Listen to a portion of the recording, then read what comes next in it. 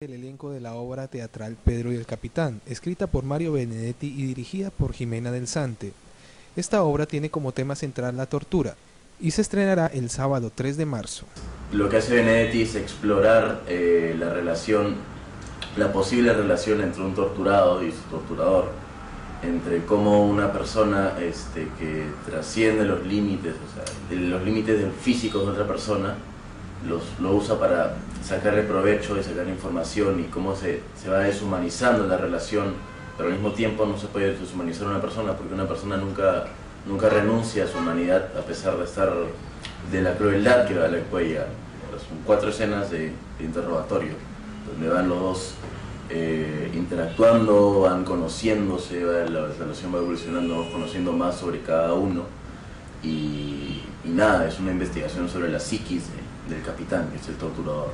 Tuvimos como tres meses de ensayos durante todos los días, de lunes a domingo, por tres horas a promedio diarios, donde estábamos encontrando un trasfondo interesante que decir. De hecho, Jimena ya tenía, que la directora Jimena, ya tenía como que la obra clara, ya sabía lo que querían los personajes, ya sabía cuál era el conflicto, pero era del trabajo de los actores, de José Miguel y yo, interiorizar eso y poder también transmitir el mensaje que ella quería. Y a mí me llama, todas mis obras son tortura porque a mí me gusta eso, cosa que no es muy correcto socialmente.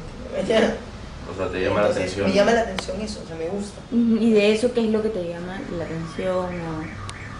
Todas las cosas que no son, el sufrimiento, el quebrar a otra persona. El público ha salido este, bastante ha, tenido un gran choque la obra. Por lo general ha sido este, la, experiencia de ver la obra es bastante intensa. O sea, depende de qué cosa ha vivido.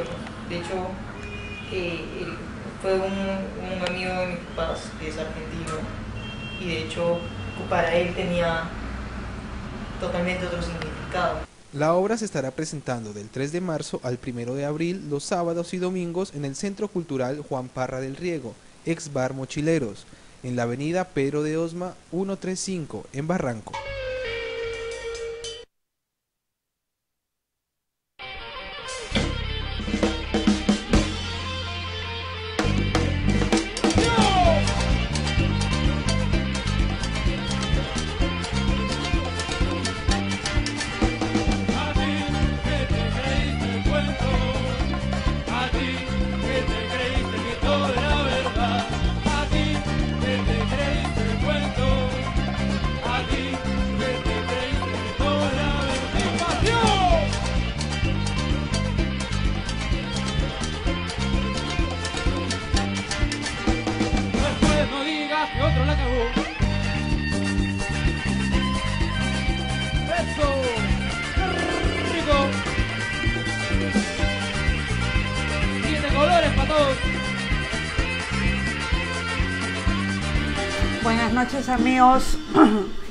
Hoy día 7 de marzo, mañana es el Día Internacional de la Mujer y este es Lo Justo, el programa de la Coordinadora Nacional de Derechos Humanos. Mi nombre es Rocío Silva Santisteban.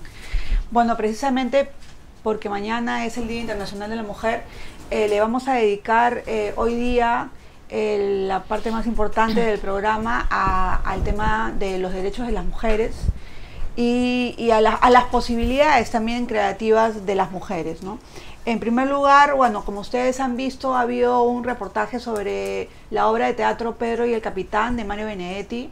Es una obra de teatro que se, que se basa, digamos, en, en un diálogo entre torturador y torturado y en ese sentido creo que es eh, una obra que muestra eh, estas relaciones perversas y terribles que se producen en, esas situaciones y bueno, en ese sentido es un motivo también para la Coordinadora Nacional de Derechos Humanos poder, digamos, apoyar eh, la creatividad del teatro peruano y en ese sentido al productor Alejandro Larco. Y ahora, bueno, sí les voy a presentar lo que vamos a ver de ahora en adelante. En primer lugar, el programa está dedicado al tema de violación y violencia sexual durante el conflicto armado interno. Eh, vamos a ver cuál es la diferencia entre una violación sexual y violencia sexual. Y para conversar sobre este punto hemos invitado a eh, Narda Enríquez y a Rosy Salazar. Eh, Narda es profesora de la maestría de género de la Universidad Católica y bueno, profesora también de sociología de la Universidad Católica desde hace muchos años. Y mi profesora, de verdad. Eh, y Rosy es abogada, trabaja en Demos desde hace bastante tiempo y ella es una de las personas encargadas de llevar algunos casos de violación sexual en el Poder Judicial peruano y también en la Comisión Interamericana de Derechos Humanos.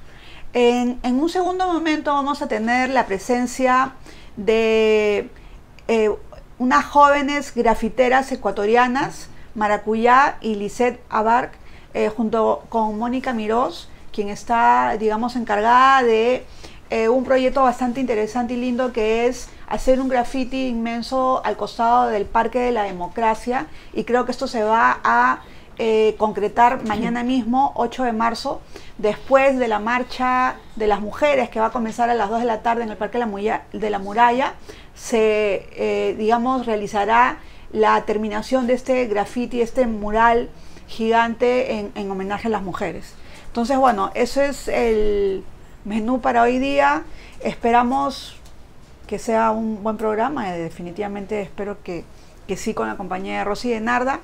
Y bueno, ahora sí quisiera mostrarles un eh, reportaje que han hecho el equipo de Lo Justo sobre eh, el tema de violencia sexual en conflicto armado a partir de un seminario que se realizó en noviembre del año pasado, coordinado por el grupo de eh, reparaciones de la Coordinadora Nacional de Derechos Humanos y ONU Mujeres. Y bueno, este reportaje plantea algunos de los puntos, digamos, más eh, difíciles de este tema. Con ustedes el reportaje. ¿Acaso los militares nos han rogado para ser violados? Quiero, quiero estar con ustedes. Nos han maltratado desgraciadamente y ahora, ¿por qué nuestros no podemos conseguir la justicia? ¿Por qué? ¿Acaso nosotros hemos sido totalmente pobres, pobres? Teníamos casa, chacra, animales, toda clase de animales. Y de eso nosotros hemos vivido. Y por, culpa de, violencia política, y hoy en día nosotros nos encontramos en pueblos ajenos, donde a nosotros nos marginan, donde nosotros vivimos peor desastre. A veces comemos, a veces no comemos. Nosotras, como mujeres afectadas de 14 regiones, necesitamos justicia, queremos justicia. ¿Hasta cuándo vamos a esperar? No solamente hemos sufrido violencia, violación sexual, sino hemos sido también violentadas. Los militares, los autodefensa, los policías nacionales, los marines, todos ellos entraron a nuestro pueblo, a nuestras comunidades y nos han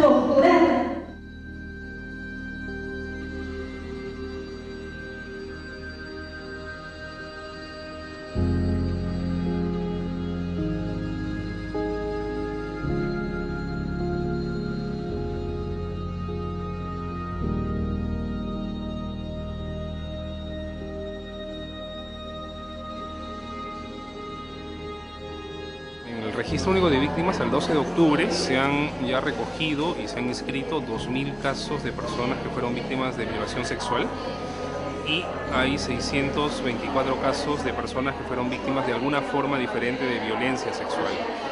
Eh, son números muy altos que eh, van más allá de lo, que de lo que fue registrado o de lo que fue recogido por la propia Comisión de la Verdad y que revelan que en realidad ese esa parte del conflicto que fue estudiada, analizada por la propia comisión, eh, la situación era mucho más grave de lo que inicialmente se pensaba. Creo que puede haber un subregistro por varias razones. Primero, porque es un tema para eh, que a las propias víctimas les resulta muy difícil hablar. Entonces yo supongo que hay muchas que no han todavía contado lo que les pasó por pudor, por miedo, por, eh, no sé, resistencia a que otros se enteren.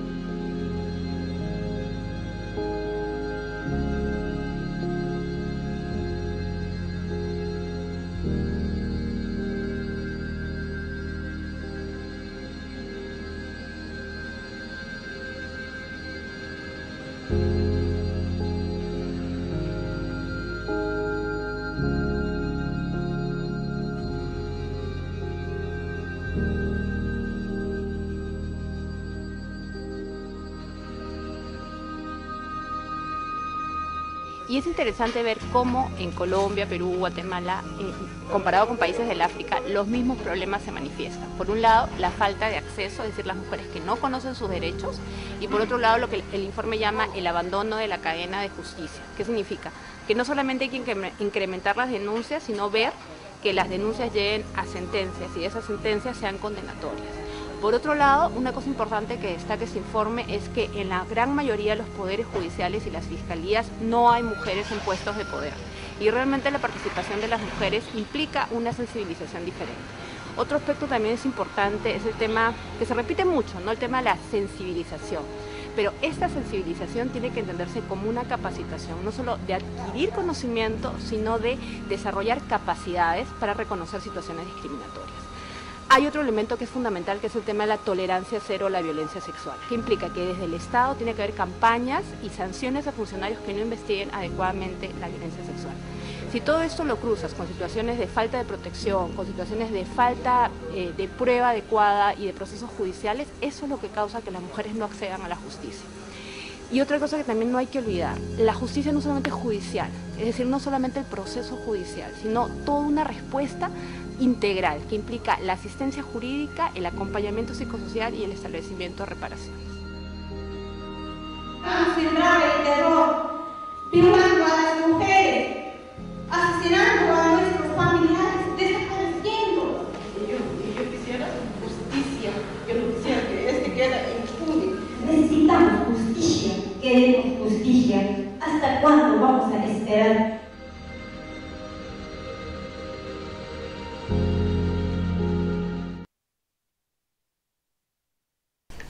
Bueno, la verdad que este reportaje es bien fuerte y dramático, pero esa es la situación de, todas estas mujeres que fueron tratadas de esa manera, ¿no? Con sus cuerpos como botín de guerra. Y, ese era lo que, digamos, el, punto sobre el cual quería comenzar con Rosy Salazar de Demos y Narda Enríquez de la Universidad Católica. Y bueno, buenas noches a ambas. Eh, y quería preguntarte, Rosy, sobre sobre este punto, ¿no? Sobre el tema de, del cuerpo de la mujer también como un instrumento de guerra, ¿no? Eh, en el reportaje hemos visto, bueno, no hemos visto, hemos escuchado, porque obviamente por razones de, reserva no podemos mostrar los rostros de, estas personas que participaron de este seminario.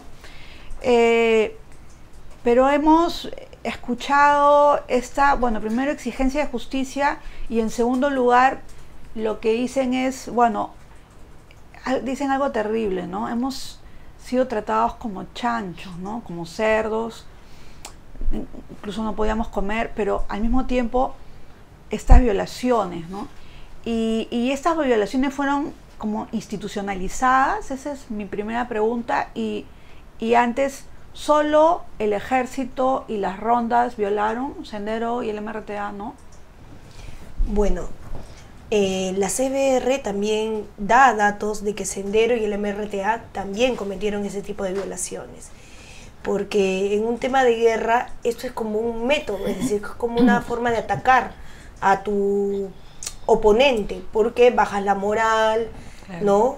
De los hombres que están ahí. Hay diversas formas, pero la violación sexual es considerada uno de los mecanismos más fuertes en la guerra para disminuir la moral de tu oponente y es dirigido justo a las mujeres. ¿no? Es totalmente utilizado de esa forma en nuestro país. Y claro, las mujeres claman justicia porque hasta la fecha, tal como lo vemos en tu video, no hay ninguna sentencia ¿no? sobre este tipo de hechos. Y bueno, ¿y por qué no hay ninguna sentencia? O sea, eh, digamos, eh, ha habido problemas para que las mujeres denuncien, ha habido problemas en los procesos. Hay diversos tipos de obstáculos. El primer obstáculo, y que es obvio, es que no es que cualquier mujer violada, sea en conflicto armado o no en conflicto armado, vaya directamente a denunciar. Es decir, porque tiene que vencer varias situaciones, ¿no? Desde el tema de sí, del trauma que viven por el tema de la violación, desde todo el tema de la estigmatización que hay frente a una persona violada, desde el maltrato que existe cuando llegan a la policía y tratan de contar los hechos, porque lo primero que sienten es que las culpan de dichos hechos, de por qué no hicieron o no hicieron algo. Y en el tema del conflicto armado en sí, es que no hay un entendimiento del contexto. Es decir, en, un contexto de conflicto armado no podemos decir que ha habido consentimiento de nadie, porque el conflicto armado de por sí crea un clima de miedo. Porque claro, es decir, es- tienes al militar acá, tienes al sendero acá, donde están luchando y tú estás en medio, lo que ca- cabe es la sobrevivencia. A tal punto que a veces en los juicios uno escucha de que sale a luz de que dicen, no, pero una chica de 13 años era la novia del militar. No era la novia, era la forma de sobrevivir, porque o, e- o te convertías en pareja de un militar o eras violada por varios. Entonces la forma de sobrevivencia, y a veces eso no se entiende, ¿no? Y Narda, o sea, sobre, sobre ese punto, ¿no? El tema de ser, por ejemplo, eh, tratada de esa manera, ¿no? De convertirte en, en- en la novia del militar o la amante del militar para precisamente sobrevivir, eh, eso es considerado violencia sexual no violación sexual, ¿no? O no sé, bueno, eh, me, lo explicarán ustedes. Pero te quería preguntar, ¿cuáles son los casos que tú has visto? Porque cuando has estado tú en la Comisión de la Verdad, ¿cuáles han sido los casos, digamos, más impactantes que has visto de, de violencia sexual y de violación sexual eh, durante ese periodo?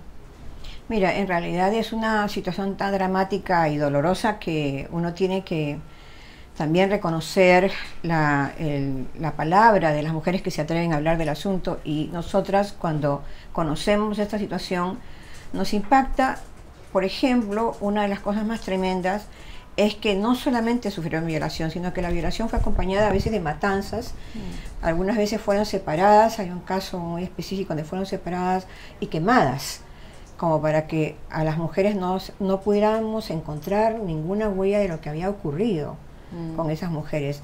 Entonces, creo que hay, hay como eh, esta, este lado eh, terrible de la guerra, donde todos los actores cometen eh, violación sexual y violencia sexual, pero también creo que es bueno darse, darse cuenta cómo en algunos casos, como en el caso de Sendero, hubo mutilación.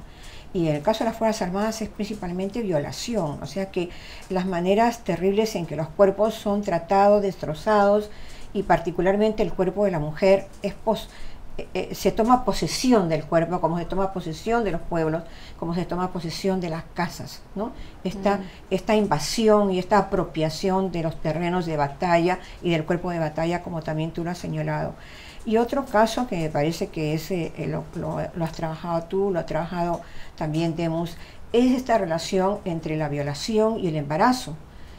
La maternidad, eh, que tú, eh, sobre la cual tú has reflexionado bastante, la maternidad en, esas, en esos casos, cómo es vivida, cómo es experimentada, acompañada de- del dolor de, lo que pasa en la comunidad, la estigmatización a la cual hacía referencia Rocío, pero también yo creo que hay un lado que no hemos, eh, tal vez el, proceso judicialización, como tiene una, una gama muy amplia de reflexión internacional, tiene mucho de, de- de avance jurídico, poca efectividad, todavía lamentablemente no hay nada de efectividad ahí, pero por otro lado hemos abandonado un campo que es el campo de las responsabilidades institucionales.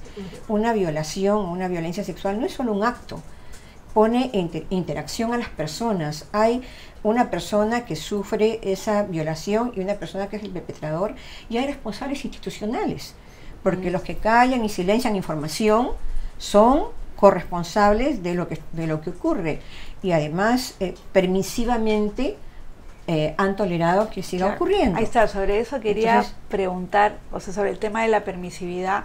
Eh, precisamente, ahora ya no tanto, ¿no? Pero hace un tiempo se podía escuchar incluso algunos eh, militares de, algo rango, de alto rango en televisión que aducían, por ejemplo, la necesidad sexual, física, de desfogue de los soldados en situaciones así y por eso había una especie de tolerancia en relación con el tema de, de las violaciones, ¿no? Eso, por ejemplo, se ve de una manera bastante interesante en, en La Boca del Lobo, ¿no? O sea, ya desde ese año, digamos, había una denuncia en esa perspectiva, ¿no? Y bueno, y, y- y lo hemos visto después con La Teta Asustada, Claro. en fin, eh, eh, digamos, la, la ficción ha ayudado, ¿no? Las películas de ficción han ayudado para también comprender más el punto, ¿no? Pero, ¿en qué medida también este machismo, este, digamos, espíritu de cuerpo, de eh, espacios militares permite que eh, se silencien estos casos, que no hayan sentencia porque no hay información. Claro, mira, yo creo que el tema en general de la, de la violación sexual o de la violencia sexual contra las mujeres, y ahorita eh, te digo cuál es la diferencia o no, tiene que ver que hay un machismo y una aceptación de ello. Y la aceptación que da a nivel general de la sociedad es que como es como una necesidad y por eso es que es permitible. Digamos, a mí me sorprende que hasta la fecha en conflicto armado que fue institucionalizado porque supieron y no hicieron nada y permitieron por esta idea por muchos factores, ¿ah? porque en algunos casos sí fue un, como planificado y como un mecanismo de guerra para torturar, ¿no? En otros casos no, era simplemente porque los hombres se tenían que satisfacer y el Estado permitió ello, a pesar que se enteraron. Pero como hasta la actualidad eso se permite o es o no es sancionado y no es repudiado, ¿no? Y ese tipo de machismo se puede trasladar, por ejemplo, a los operadores de justicia, que siempre en vez de investigar a aquel que ha violado, lo que hacen es investigar a la víctima, de si ella permitió o no permitió, o hasta su pasado sexual, si permitía eso, ¿no? Y en los casos en general de violencia sexual en conflicto armado, de verdad el Ministerio de Defensa no da dato. Es decir, no da dato exacto si tal persona, porque obviamente las mujeres no sabían los nombres reales de los, militares. Todos sabían por seudónimos. Hay algunas excepciones que sí han sabido cómo se han llamado los militares, pero son las excepciones. Y la mayoría de casos, especialmente en los casos de Ayacucho, Cusco y muchos en Huancavelica, obviamente las mujeres no saben el nombre de quien las violó, o porque también las encapucharon, o estaban encapuchados ellos. Y lo que pasa acá es que el Estado hasta ahorita no se hace responsable de aquellos funcionarios que cometieron este tipo de delitos simple y llanamente no se han hecho responsables hasta la fecha. Pero digamos, pero en los procesos que ustedes tienen, tienen nombres. Por lo menos en el proceso de Manti Vilca sí existen nombres porque las víctimas sí llegaron a identificarlos, ¿no? En ese caso, claro, eh, lo que están haciendo es perseguir al ejecutor directo, que es aquel que violó, pero hasta ahorita el tema de la cadena de mando, de que fue el, el jefe de la base, el que era el comando político militar, y todos ellos no necesariamente están entrando a tallar dentro de la investigación, porque tienen esta idea de que, bueno, la violación sexual es directa, es un hombre contra una mujer. No, pero a ver, una preguntita también sobre eso.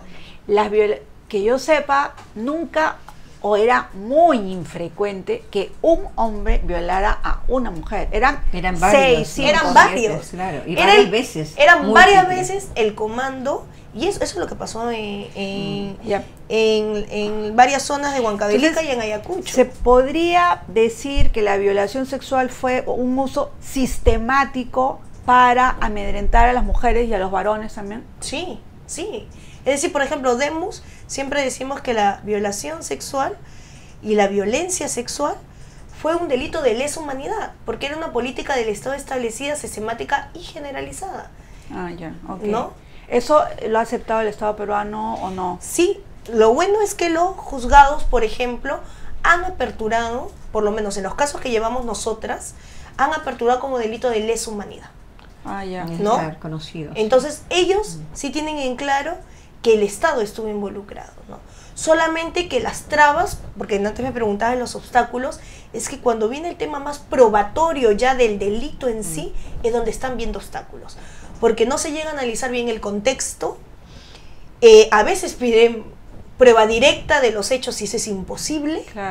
Piden testigos y, claro, mayormente las testigos son las propias víctimas.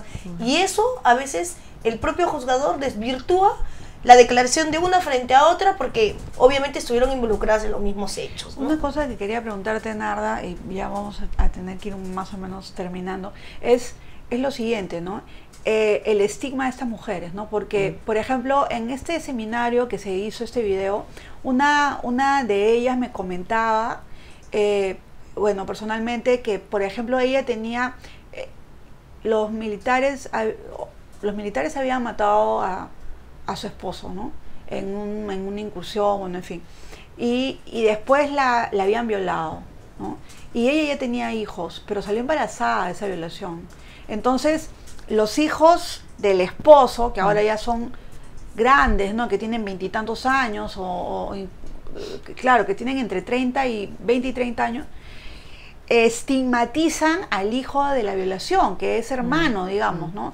Y esa situación es una situación terrible, es una situación que, que crea eh, unos lazos de resentimiento dentro de estas familias en los Andes, pero también en la costa y en la selva, ¿no? Entonces, digamos, eh, eh, esa situación, el Estado peruano ha visto la necesidad, por ejemplo, de dar un soporte psicológico, no sé. Pues yo creo que hay varios niveles allí, Rocío, porque también, por ejemplo, hay eh, varios testimonios de que se llevaba a la comunidad y la comunidad, las autoridades de la, comunidad, de la comunidad decían, a ver, párense los violados, las violadas, ¿no? Entonces, hay desde, desde el nivel local, ¿qué hacemos con las autoridades a nivel local hasta qué hacemos nosotros que somos, digamos, podemos acompañar a estos procesos o solidariamente o políticamente, pero en términos de opinión pública estos temas absolutamente son ajenos.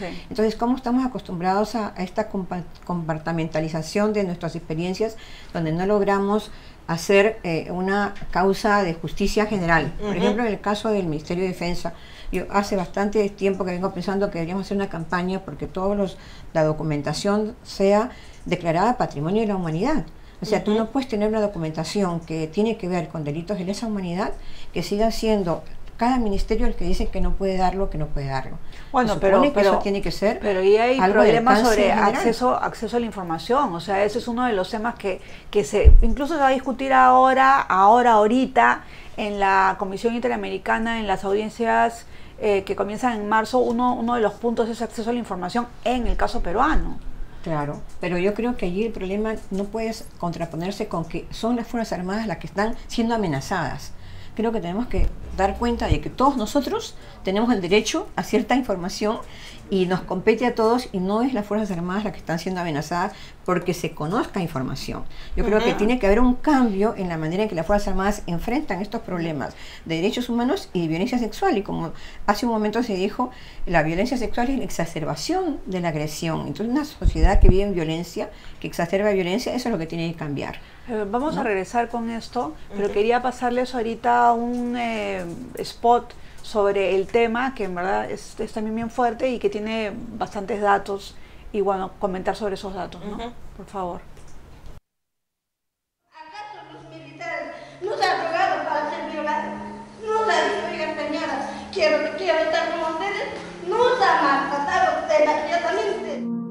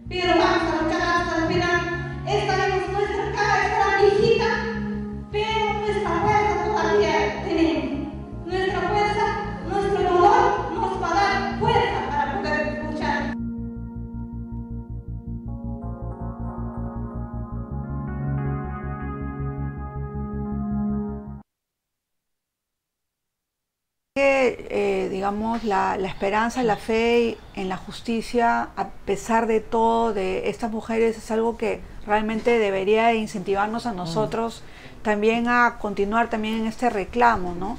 Justo quería mencionar un caso que es un caso simbólico, que me parece bien importante, que es el de Georgina Gamboa, ¿no? Que ustedes conocen bien. Y bueno, ella fue violada por siete cinchis en el año 1981 en Parco, en Ayacucho.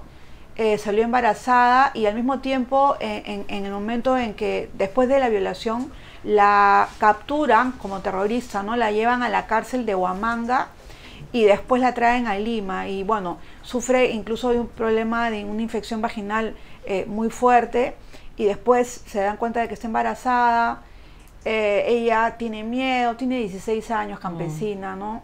Este, casi, casi monolingüe, de habla quechua, eh, y entonces ella no sabía qué hacer, se desespera, y después bueno, decide seguir con el embarazo, después decide dar en adopción a la niña, después se arrepiente, eh, la, da en adopción, pero después la pide de nuevo, y bueno, y finalmente cría a su hija, quien en estos momentos tiene 30 años y dos hijos. Y Georgina Gamboa, que es una mujer increíble realmente, ha podido recuperarse de este proceso y ahora reclama justicia por ella pero también, como, como dice ese testimonio de la Comisión de la Verdad, por las señoritas que son las hijas de, estas situaciones. ¿no?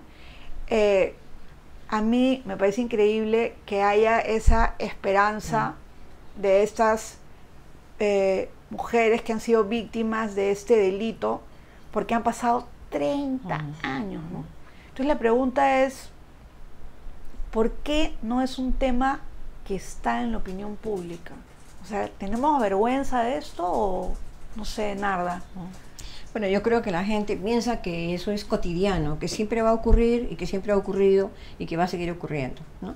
Entonces, esto es un cambio que espero que las últimas dos o tres generaciones, yo diría desde mi generación hasta la de ustedes, haya cambios en el sentido de algo que ha sido totalmente descuidado en nuestra en nuestra manera de pensar, que es qué valor tiene un cuerpo humano, qué valor tiene la sexualidad en términos de una vida sana que tenga un proyecto como, como autónomamente lo puedan decidir las mujeres. Creo que ese es un cambio radical. Todavía sigue poco comprendido, todavía hay mucha gente que se pregunta por qué las mujeres están reclamando por esta autonomía, por este derecho de sus cuerpos, por este respeto a las personas. Eh, que continuamente son discriminadas. Creo que en el caso del conflicto armado hay otro agravante, que es la discriminación y el racismo profundo. Hay un descuido total y un, y un desconocimiento de estas historias, que son historias que han vivido muchas mujeres en la sierra y que por ser tan lejanas se siente todavía que no tiene nada que ver con nuestra vida próxima y entonces no, no hay una adecuado, no hay un adecuado tratamiento. Ahora, ellas a lo largo de los años se han empoderado. ¿ah? Así es. digamos, la defensa de sus derechos las ha... Sin duda. O sea, las, mujeres que no están llorando y diciendo, ay, pobrecita, me están diciendo justicia. De todas maneras, esto es un reclamo que llega tanto en la Comisión de la Verdad como en el Consejo de Reparaciones tardío, porque tú te das cuenta que primero reclamaron por sus familiares, claro. por los otros, y después de reclamar por los otros, recién han comenzado a decir, bueno, si nosotros, hizo un trabajo que Yulisa Mantilla y el equipo hicieron con todos los colaboradores que tuvieron en la Comisión de la Verdad para poder coger algunos testimonios en la Comisión de la Verdad y la Reconciliación. Fueron pocos y todos decían, pero bueno, si son pocos no son tan importantes. Pero esos pocos mostraron una realidad que ahora sabemos que son más de 2.000 los que tiene el Consejo de Reparación. Ahora quisiera hacer una última pregunta políticamente incorrecta.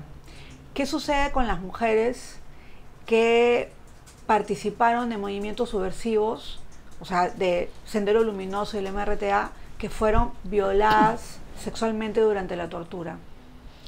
Bueno, yo creo que todos tenemos derechos, y también ellas, ¿no? Y el Estado y, los ciudadanos moralmente superiores tenemos que reconocer que presos tienen derechos. Y no son, no, hay, que, hay que reconocer que también ellas fueron violadas y también tienen derechos. Ahora, el problema de la reparación es un debate. Claro. Si tiene reparación, no tiene reparación, pero que es un derecho y que no deben ser violadas las presas, sean de Sendero o de cualquier grupo político. Yo creo que esto, o, o terroristas declaradas, declaradas, porque en el caso de ellas fueron declaradas que habían sido combatientes, algunas no quieren reconocer que han sido combatientes. ¿no? Aquí hay un problema de, es, eh, digamos, un problema político en el sentido de que estamos tratando con una situación de conflicto armado, pero que sigue siendo muy delicado si nosotros decimos hay ideologías de por medio y hay derechos humanos de los terroristas, sí hay derechos humanos de los terroristas. O sea que en ese sentido yo creo que no, inclusive en, el, en el, informe del conflicto armado se señala eso, que algunas presas de Sendero declararon que habían sido también eh, violentadas sexualmente, pero fueron muy pocas las que quisieron señalar eso, más bien recién lo están comenzando a declarar, o sea que en el momento Claro. no lo quisieron declarar. Entonces yo creo que uno tiene que reconocer que a ningún preso se le puede violar sus derechos. Claro, yo creo que lo principal acá es que hay que enmarcarnos. Ahorita el Perú estamos en un Estado de Derecho. Por tal motivo, cualquier ciudadano tiene los derechos establecidos en la Constitución y los derechos establecidos en todos los convenios internacionales. Y si estas mujeres fueron víctimas de violencia sexual, tienen el derecho de denunciar y también de obtener justicia. Porque el Estado no puede a ningún ciudadano, sea el ciudadano que el Estado desea, que es el que cumple las normas, como aquellos que no, eh, puede transgredirlos. Porque si no, estaríamos eh, distorsionando lo que estamos Claro, hablando claro, de bueno. Estado de Derecho totalmente. Digamos, es decir, claro, no puede haber tortura, no, puede haber tortura, no puede haber violencia sexual, no puede haber ninguna Ahora, yo creo que eso de- no exonera de sus responsabilidades respecto Claro. de actos que hayan cometido, ¿no? No los exonera de que también hayan cometido supuesto, actos claro. de violación sexual sí. y o de vi- otras violaciones. O sea, yo creo que las han cometido y eso no exonera. Pero no. Y- serán sancionadas por lo que cometieron. Pero el Estado a eso no le da cabida de transgredir derechos de ellas. ¿No? Bueno, entonces les agradezco mucho de verdad por Tu este políticamente debate. Sí. Es que, eh, eh, bueno, el tema es que en el artículo 4 de la ley PIR lo que dice es sobre que no es víctima, digamos, las personas que han participado de movimientos subversivos. Claro, pero el asunto es que no es víctima para recibir reparación, que no es lo Claro. mismo que el tema de justicia, que se debe ver Claro, no de reparación diferentes, es otro problema. Yo creo que aquí estamos hablando como Y otra cosa de también es lo que tú has mencionado, ¿no? O sea, lo que sucede es que, claro, eh, recién ahora se está, digamos, algunas mujeres están diciendo que sí, que en efecto fueron violadas, porque incluso yo conozco a algunas de ellas que eh, están en la cárcel que han tenido eh, di- hijos producto de esa violación eh, durante la tortura, ¿no? Yo creo que también hay algo muy de fondo, ¿no?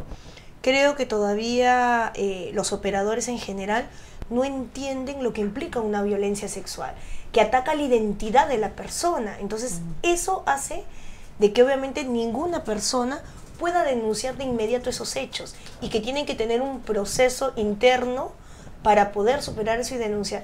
Creo que hasta ahorita eso no se entiende, que Bueno, eso, es lo que es más que ataca. eso es muy difícil, ¿no? Y además otra, otro asunto también de, de todas esas personas que han denunciado es que son muy valientes de denunciar. Obviamente. Porque, o sea, realmente van a ser incomprendidas por el esposo, eh, avergonzadas en su comunidad, eh, incomprendidas a veces por los hijos, ¿no? Entonces, Socialmente Rocío. Hay que reconocer además, Rocío, que las propias organizaciones de derechos humanos no tenían información registrada durante todo el periodo de la guerra sobre estos temas.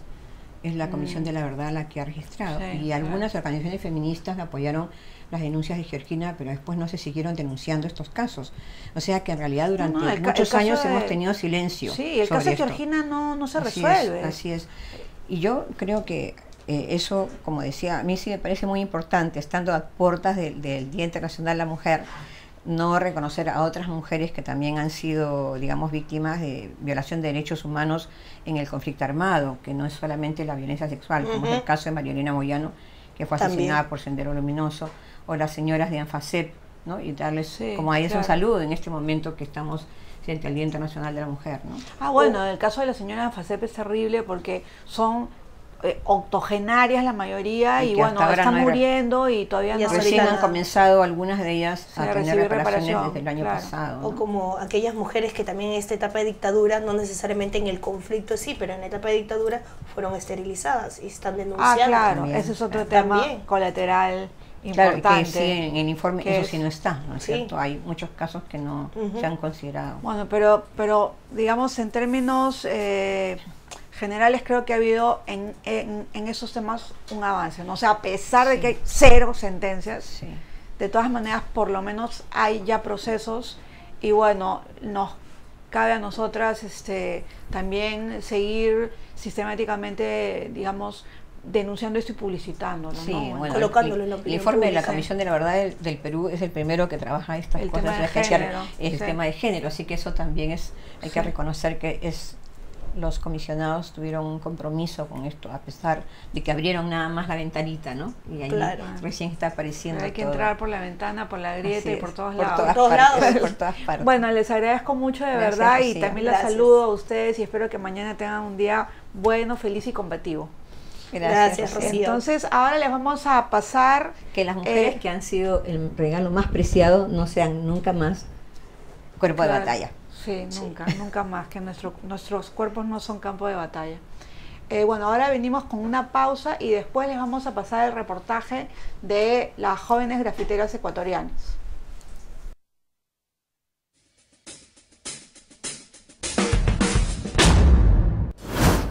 El gobierno responde. Ante críticas de los mineros en paralización por decretos que buscarían erradicarlos, el gobierno señaló en un comunicado que se busca erradicar la actividad minera ilegal y a los que la promueven. Un periodista cajamarquino denunció a la empresa Yanacocha por utilizar a menores de edad para distribuir propaganda a favor del proyecto minero Conga. Según el denunciante, los niños recibían 10 céntimos por cada folleto que repartían. Segunda opinión. El hidrólogo y geoquímico norteamericano Robert Moran presentará mañana su informe sobre el estudio de impacto ambiental del proyecto minero Conga, conocido también como el peritaje paralelo. Según informe preparado por infos.pe, varios funcionarios del Estado están contratados bajo el régimen laboral privado y ganan más del doble que el presidente Ollanta Humala. Entre los funcionarios están el Contralor de la República, Fuad Curi, y el presidente del Banco Central de Reserva, Julio Velarde. Antauro Humala salió del penal de Piedras Gordas en 13 oportunidades durante el año 2011, dos veces sin custodia policial. Por otro lado, se informó que el hermano del presidente pidió por la vía judicial ser reincorporado al ejército. ¿Algo más? La revista Newsweek publicó la lista de las 150 mujeres más valientes del mundo. Hillary Clinton encabeza la relación que incluye a las presidentas de Argentina, Cristina Fernández, y de Brasil, Dilma Rousseff, así como a la expresidenta chilena Michelle Bachelet, la bloguera cubana Joanny Sánchez y la representante estudiantil Camila Vallejo.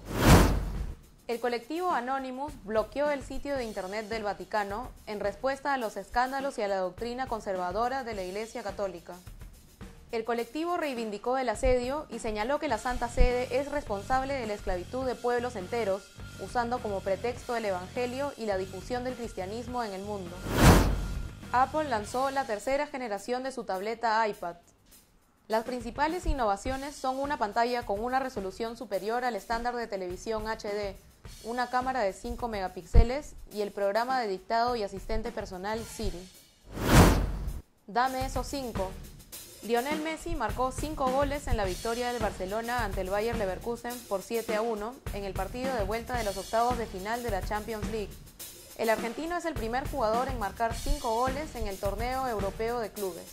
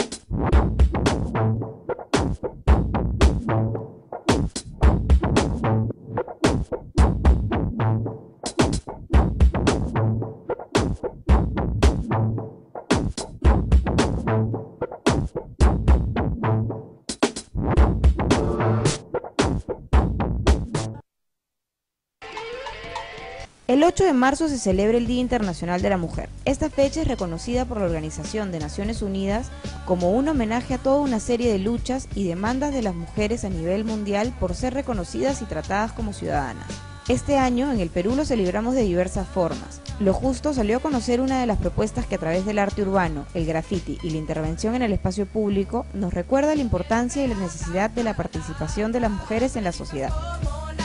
El festival ya tiene cuatro años y por iniciativa de unas amigas, compañeras de graf, eh, y era incentivar el graf femenino, ¿no? darle un espacio y aprovechar la fecha del Día de la Mujer para tocar también temas relacionados a la problemática femenina en el país.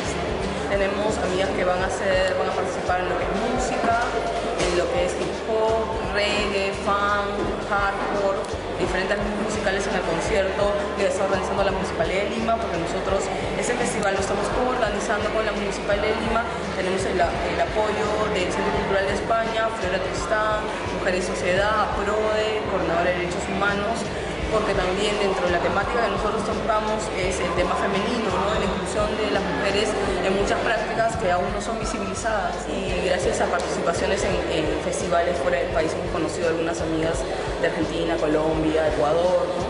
a las cuales las invitamos a venir. ¿no? El año pasado ya contamos también con la participación de unas amigas ecuatorianas y este año se han sumado una argentina y una colombiana más.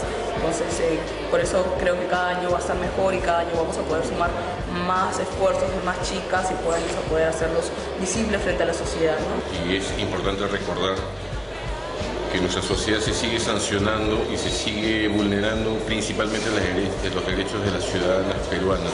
Por eso es importante, no solamente como una fecha eh, que a nivel mundial se celebra en torno a la mujer, sino que para nuestro país y para una sociedad como la nuestra, donde el tema todavía sigue siendo una viene liderando cualquier agenda pública, no solamente en relación del Estado, sino que como sociedad nos exige que como ciudadanos sigamos insistiendo en la necesidad de plantearlo como tema. La verdad es que nosotros más apelamos a la alegría porque estamos un poco cansados de la política o de ser un poco agresivas, porque es más fácil trabajar por seducción que por agresión.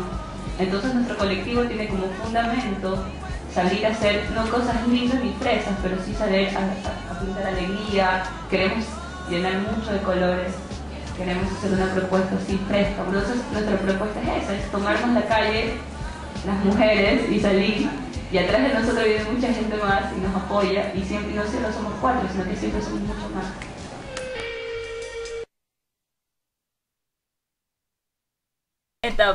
Bueno, seguimos en lo justo en el programa de la Coordinadora Nacional de Derechos Humanos. Mi nombre es Rocío Silva y ahora estamos con eh, Mónica Miró, con Lisette y con Maracuyá, que vienen de el Ecuador. Y Mónica es una de las organizadoras del festival Nosotros estamos en la calle, que este año es su cuarta versión, ¿no es cierto, Mónica? Sí. Bueno, solo Sí, quería primero que nos cuentes un poco eh, en qué consiste el festival. Eh, sé que comenzó el lunes y hasta cuándo va y bueno, para, para arrancar y de ahí preguntamos otra. Sí, como dices, ese es el cuarto año del festival. Eh, este festival lo organizamos con un colectivo de amigas de, de graffiti que se llama Maripusi Crew. Y este año hemos coorganizado el festival con la Municipalidad de Lima y hemos contado con el apoyo del Centro Cultural de España y de algunas organizaciones como APRODE, la misma coordinadora, Mujer y Sociedad, eh, Flora Tristán, ¿no? Y en este año eh, tenemos una agenda de casi toda una semana de actividades que comenzó el lunes con la inauguración en el Centro Cultural de España y que continúa el día de hoy con una intervención en la Fe- FEMUCARINAP, que es la Federación de Mujeres Campesinas y Artesanas y Aceleradas del Perú, en la cual las chicas y otras amigas nacionales y una amiga argentina que ha venido a participar del festival eh, muralizaron dentro de la casa de, de las señoras de la Federación. ¿no? Y tuvimos un taller a las 4 de la tarde en el mall con, con la amiga Dinamita. que iba a haber un Sí, taller de pegatinas. De pegatinas, sí, qué sí, bacán. sí, es- y duró hasta, hasta casi las 9 de la noche. Hasta ahorita. Sí, hasta igual nosotros también hemos estado pintando Sí, hasta, hasta hasta más o menos la tarde también. Yo también estuve en una actividad en San Juan de Miraflores con un colectivo que se llama Pucasonco, que estamos haciendo unos talleres para, ni para Mónica, tú también haces graffiti. Sí, yo también pinto, yo hago stencil y también estoy participando del festival también, claro. Ah, bueno, me encanta esa, eso, me encanta, de verdad, la idea me parece así excelente. Ahora, porque generalmente hay este estigma de que los grafiteros son como bien masculinos y como que hay una, no sé, como esa idea, ¿no? Eh, entonces, para estamos nosotros. Claro, pero ¿cómo, por ejemplo, ustedes entraron en eso en, en, el Ecuador? Eh, no sé, Lisette. Eh, ¿Cómo, ¿Cómo se les ocurrió hacer grafitis? Bueno, la verdad que lo hacía siempre así sola, desde pequeña empecé a salir a hacer stencil así ah, pequeños. Pero ya después como cuando me gustó hacer murales, ya así también solas y me llamó mucho la atención, o sea, somos como que las pocas mujeres que hacemos en Guayaquil. Pero igual sí hay mucha gente que pinta, pero no se atreve a salir a la calle a poder hacerlo así. No tiene ese ¿Y tú también así comenzaste con stenciles o no, de frente? No, yo no hago stencil ni graffiti. Lo que yo hago se llama arte urbano. Lo que yo hago es hacer pegatinas en la calle. Ah, ¿y qué son pegatinas? Pegatina es que yo trabajo, primero lo elaboro en mi casa y depende del tamaño que quiera y después salgo y lo pego. Ya, o sea que son como... Stickers gigantes. Ah, no te creo, ¿sí? Es posible eso, Sí. Sí, y, y acá, bueno, eh, me, han dicho que están, bueno, trabajando en, el, en, la casa de la Federación de las Mujeres Campesinas, pero el mural que han hecho está adentro, ¿no es cierto? Sí, bueno, pero, pero o sea, digamos que no podemos ir a chismear, tendríamos que ir a tocar la puerta, pero una pregunta, ¿qué, qué, qué, qué gráfico han escogido para, para ese mural? ¿Ya lo terminaron? Este sí, hoy día, hoy día lo empezamos y hoy día mismo lo terminamos. El tema que ellas querían era sobre la Pachamama, la naturaleza, la tierra, las semillas. Y hemos pintado como animales y una gran vagina. Hemos pintado cosas a la mujer, pero una representación, ¿no? Unas con figuras, este, con un poco de figuras lineales y un poco de abstracto figurativo, porque no es real, real sino es más que todo abstracto figurativo representando a la semilla, la pachamama, la ah, tierra. un poco la naturaleza. ¿Y con qué trabajan? ¿Con qué instrumentos trabajan? Con plantillas, stencil, pegatinas, látex, agua, goma, la pintura, un juguete, la tapa de agua que te encontraste la pega, la pinta, todo. y por ejemplo, y con, y con el tema de los stenciles, que sí es algo que, digamos, o sea, si las personas nos están viendo en estos momentos, si hay chicas jóvenes que les gustaría, o sea, ¿qué ¿Qué, les recomendarían? Que usen el YouTube.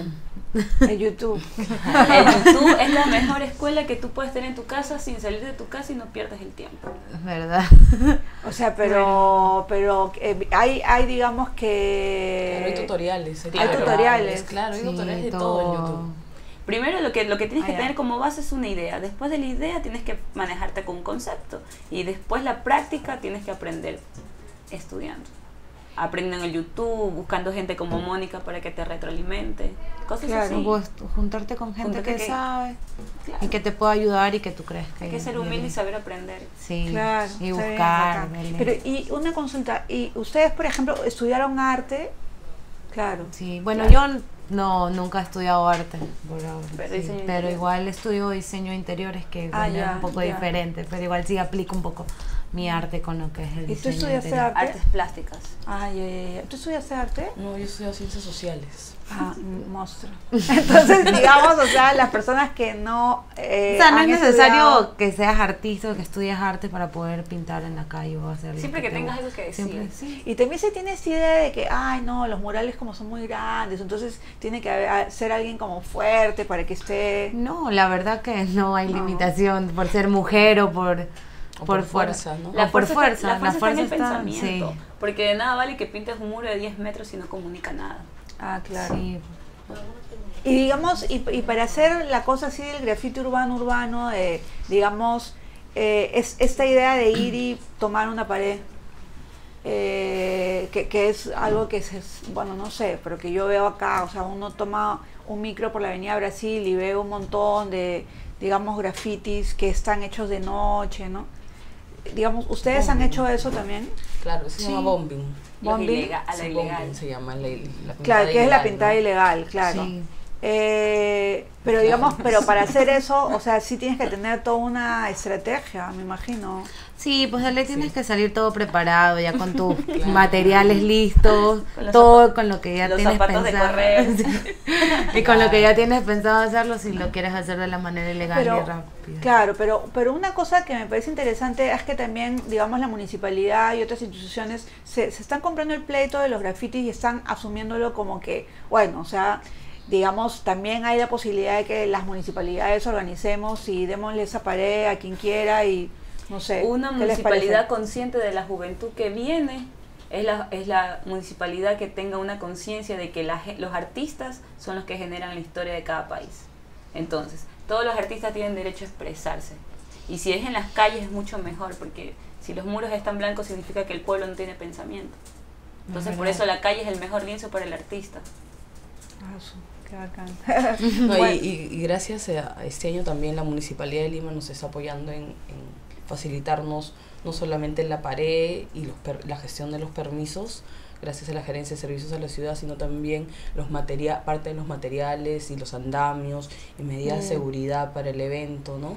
y nos estamos poco- incluyendo también dentro de la propuesta de la municipalidad, ¿no? Que es importante, porque es importante también que la ciudad, nosotros somos ciudadanas, ¿no? Somos ciudadanas y también por tanto somos parte de las políticas de, de, de la municipalidad, tendríamos que participar Ya de que has ellas, ¿no? mencionado eso, quería hacerles otra pregunta, por eso la dejo para el final, pero ya que has mencionado Sí. eso, me interesa mucho el, el tema de, de- de lo gráfico, lo artístico y lo político, ¿no?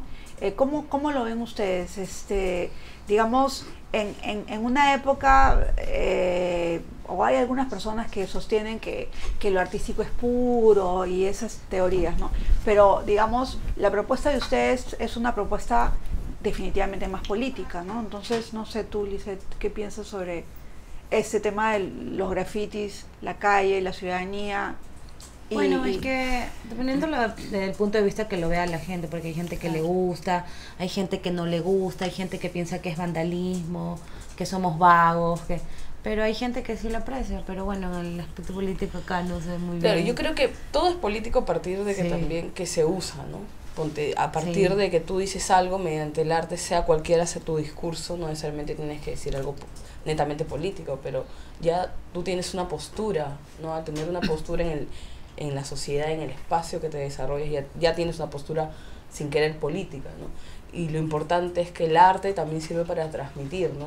Y como lo que decía Maracuyá, que, que el arte es también una forma, es el pensamiento de la sociedad, porque un artista no tampoco se hace en sí mismo, ¿no? En- solo en sí mismo, sino él también es fruto de todo un espacio social, cultural, ¿Ustedes, artístico. ¿no? ¿Ustedes plantearían alguna diferencia entre, digamos, un mural o una muralización eh, con un concepto, como, como tú lo habías planteado, y, digamos, algo loco que se hace en la calle y que se agarra un spray y de pronto se pone, no sé, eh, vive la...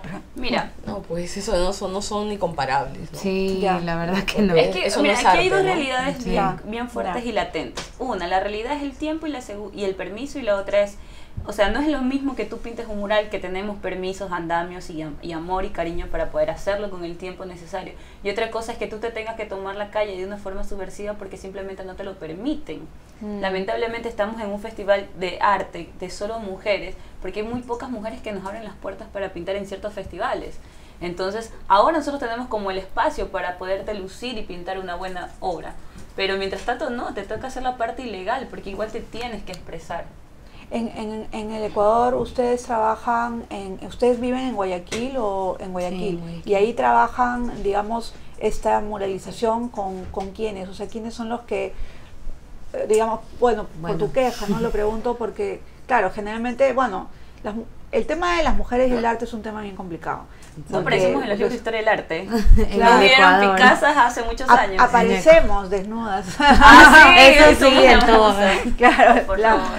es, ese es uno de los puntos, ¿no? Pero digamos, este, pero, pero, por ejemplo, ¿cómo, cómo es la situación como en, en el Ecuador? ¿Es, es también así parecido al Perú? ¿O, se- o cómo, cómo participan ustedes? Mira, mi percepción en Guayaquil, que es como quien dice mi, mi experiencia más cercana, el nivel artístico es un poquito mediocre en el sentido de que la gente no Sí. tiene educación educación artística. Entonces lamentablemente el policía que te ve pintando te grita vagabunda y te reprime. O si no Porque- te morbosea. porque no lo sabe. entonces que no piensa que eres una chica que está pintando en un short por comodidad y piensa que le estás comprendes o sea siempre lo transversan todo no y ahora que tenga que ver este con bueno o malo eh, en Ecuador la gente por ejemplo a las mujeres es un país machista más comprendes entonces son muy pocos festivales que nosotros nos han, han- nos han abierto las puertas y Mm. sin embargo las únicas ciudades que a nosotros nos han abierto las puertas y otra ciudad muy aparte de muy nuestra aparte de propia nuestra ciudad propia ciudad. Porque ya hemos tenido. eh, Comenzando desde nuestro propio alcalde, nosotros tenemos Sí. una multa de mil dólares por cabeza por quien denuncia un grafitero. Ah, sí. Así de represiva es mi ciudad. O sea, hemos tratado de acercarnos y presentarles proyectos y todo y que vean para ver si nos apoyan en algo, porque nosotros queremos ayudarles, la verdad Claro. que o sea, para que pongan más, más centros Este culturales. mundo y- necesita pintores. Sí. Sí, claro, a mí me parece, bueno, uno de los asuntos, digamos, Pero, conmovedores del graffiti es que tú estás en la calle, en tu micro, y de pronto ves un graffiti, wow, ¿no? O sea, ves algo, o sea, te entra, te, te agarra Sí. el ojo, no sé cómo Claro, decirlo. porque lo que pasa Llama es que como estás en tu confort diario y, y te proyectan algo que simplemente te confronta con tu confort diario y hace que salgas por un momento de esto y o te con, haga o con- pensar. o con tu miserabilidad diaria también, ¿no? O sea, con, con tu Y miseria diaria que pronto algo ves que, algo que, wow, que bonito, te, te hace que Como nuestro alcalde, y siempre cuando creer. nos veían pintando ya un muro gris, todo era gris, todo. Claro, y ahí todo lo tapan de gris, así. Sí, nada sí. Todo es eh, color gris en la ciudad de Con Guayaquil. todos los murales que hemos ¿Y pintado. dónde han pintado ustedes con, con permiso? ¿En qué otra ciudad de, de Ecuador? Solo Uh, Quito. ah, en en Quito. Esmeraldas también. En Esmeraldas y Quito. Ambato. Yo bueno, en he participado también en varios festivales. En Ambato, Ah, en Esmeraldas. en ya. Quito, Pero sin embargo nosotros hemos en sido invitados a otros países como Perú, Suiza, hemos estado en Sí. otros lugares pintando, pero sin embargo en nuestra ciudad es muy represiva la situación. Sal. Lo que quería era, bueno, un poco ya tenemos que ir terminando, que me contaran qué es lo que van a hacer mañana y pasado, que es este mural que me parece súper Sí. buena idea, porque bueno, además Lima es una ciudad muy gris, ¿no? Yo no sé cómo será Guayaquil. O Tres sea, veces más gris por el claro, pero digamos, nosotros somos grises por, por el Ah, problema sí. de- del, del techo de nubes que tenemos. Ahorita ustedes Bueno, han venido sí. en verano y es Nosotros somos grises porque nos quitaron casi todos los Claro, árboles. eso es, eso es, ay, no, eso es una desgracia. Le pusieron harto cemento color bonito. Pero por ejemplo, eh, eh, en ese espacio es un espacio bonito. Bueno, simbólicamente es un espacio muy fuerte porque ahí eh, mu- murieron unas personas en, en el momento en que se estuvo recuperando la democracia, ¿no? Eh, pero, ¿y qué van a pintar ahí? O sea, ¿qué, Mujer, qué- fuerza y agua. mujer, fuerza y agua. Y ya, el, o sea, ya el concepto lo tenemos total. el concepto, todo. el- Hemos Las trabajado, imágenes, nos hemos sí. reunido, Mónica nos ha organizado y estamos to- todas de acuerdo en pintar lo mismo, la fuerza, la mujer y el agua. Sí. Muy Bueno, es, Hacer es el tema, ¿no? Es el tema latinoamericano. acerca de la mujer y todo. Sí, el tema es, es uno, un tema que nos toca a todos, ¿no? Nos toca a toda América y nos toca ahora recientemente también a Ecuador con el problema que ha habido ahora con los activistas, con las Con las activistas. mujeres activistas, ¿no? Que, que Qué han pena sido atacadas, ¿no? Igual nosotros ahorita estamos en una lucha por el agua también aquí, Sí, ¿no? por supuesto, claro. Y en la cual las mujeres hacemos mucho. Sí, o sea, es, es un tema también en que, digamos, las, las mujeres nos sentimos tocadas de una manera distinta, eh, diferente, pero, pero que tenemos que estar ahí también en la lucha. Una pregunta. o sea, Ah, pregunte, pregunte. que- A ver, a quería- ver. A ver, quería- fin. ya, ya estamos en fin, ya estamos en fin. Pero antes de ir al fin, La última, no, quería la preguntarte a ti. Mónica, porque estoy preguntando a ellas bastante y como ahorita me acabo de enterar de que tú eres socióloga, pero que también pintas y haces graffiti, quería preguntarte, ¿dónde has trabajado? O sea, ¿dónde puedo ver un- algo que hayas hecho tú? En la calle. Sí. En la Entonces. avenida Wilson, llegando a Tacna, hay uno que hemos hecho con unos compañeros de también que vinieron de viaje, un amigo colombiano, en Cepita, en, en la Infiteca también, en Comas, en Ah, ya, ya. RIMAC, en ¿Dónde la pintamos zona liberada. ¿Cómo? ¿Dónde pintaste la chica las tijeras? En, ahora último Sí. fue Surquillo, ahora va- hace unos días Ah, sí. estuvimos pintando en Surquillo por la avenida Los Quechuas. Ah, ya, y también hace unos ¿Dónde días estuvimos pintando en Quilón Ancas, de cuadra 10. Ahí también hemos hecho una intervención con un amigo mexicano y un Ah, amigo por, francés. las trinitarias, por ahí. por- Claro, ahí a media cuadra, al lado del mercado, ahí hemos, hemos hecho un mural hace el domingo.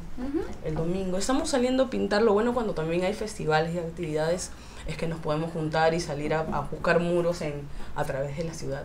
¿no? El arte urbano es un, un mundo muy bonito, ¿sabías? Mucho más allá del estigma de las pandillas y la guerra y la cosa Sí. que no existe de verdad. Porque hasta ahorita conocí a un amigo que pinte que sea un malandro. ¿Verdad? Y Porque no- todos- por ejemplo, hay gente de México que se moviliza por la, la convocación de Mónica. Me compré gente que viene de Francia, gente que viene de Ecuador. Entonces, el, el mundo del arte urbano está bien organizado y es bien potente. Porque el mundo necesita Es pintores muy buen corazón. interesante, la verdad. sí. Sí, definitivamente, sí, sí. Bueno, me alegra mucho haberlas tenido aquí. Eh, y bueno, no, yo, yo sí, no, yo mañana de todas maneras, yo, este, voy, bueno, primero voy a ir a la marcha, ¿no? Claro. Este, y después sí, de todas maneras sí quiero ir porque en verdad, a mí me encanta el graffiti, me gusta mucho. Me, Sí, me la, gusta la movilización Canto a la Vida va a terminar, la movilización de las organizaciones de mujeres para todos, que es mañana, comienza en el Parque de la Muralla a, las 2 de la tarde, sí. y se va a movilizar y como punto final va a tener la Plaza de la Democracia a las 6. Con nuestro lindo va a haber, claro, donde vamos a estar pintando Sí. nosotros Y bueno, pequeño acto cultural y otra cosa que también quería decir antes de irnos es que el, el, el sábado 10 de marzo va a haber un concierto, ¿no? Sí. También puras mujeres, me encanta eso también con, con DJ Chuchupe, Batucada Feminista, Mari, bueno, Batucada, Parió Paula y bueno, un montón de gente, hasta, hasta Bartoli y Ruth Karina, o sea, Sí, ya es una pasando mezcla. por HDU también, por la cita Sí. de HDU. Bueno, Y vamos a estar pintando nosotros también ahí. Ahí el día Sí, en la el día en la Armas. plaza. Sí, Ah, Hay que bueno. pensar, ¿no? Mujeres a la calle. Nosotros parece- estamos en la calle. Me encanta la Nos- la idea, me encanta la idea, me parece excelente, la verdad que, que, que en verdad es excelente. Me, me, soy- me siento muy emocionada porque de verdad hace como 30 años que uno, yo era, tenía la edad de ustedes, era imposible pensar una cosa así. O sea, por eso me parece genial que, Hay que estén romper. haciendo Hay que seguir. Bueno, entonces nos vamos. Nos vamos. Nos vamos. Nos vamos porque el, el- el patrón aquí, el varón, está diciendo, pero no, bueno, es nuestro productor, que tiene el, el tiempo siempre es tirano en, en, en, en, en la mula Pero también. concreto. ¿ah? Bueno, entonces, bueno, regresamos la próxima semana y la próxima semana tendremos un reportaje también sobre el tema de Conga. Y con ustedes nos vemos el próximo miércoles.